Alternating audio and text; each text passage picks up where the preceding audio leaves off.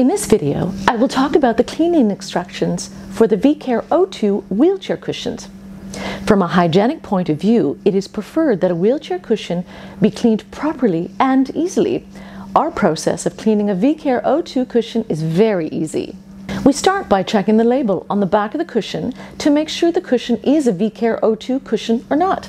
You can also find the washing instructions here. The Vicair O2 cushion can be machine washed at a maximum of 60 degrees Celsius using an anti-crease cycle and mild detergent. Do not use any chlorine or bleach. Remove the outer cushion cover before washing. You can wash them at the same time. For further instructions, see label attached to the inside of the cover. You do not need to remove the smart cells before putting the cushion into the washing machine.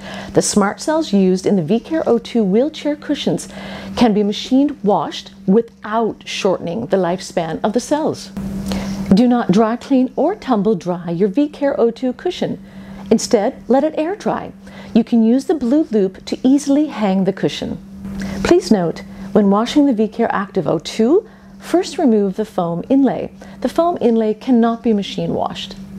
Washing your cushion in a washing machine on a standard cycle of not exceeding more than 60 degrees Celsius allows for the smart cells to be 100% disinfected the fabric in the zipper will be 99.9% disinfected.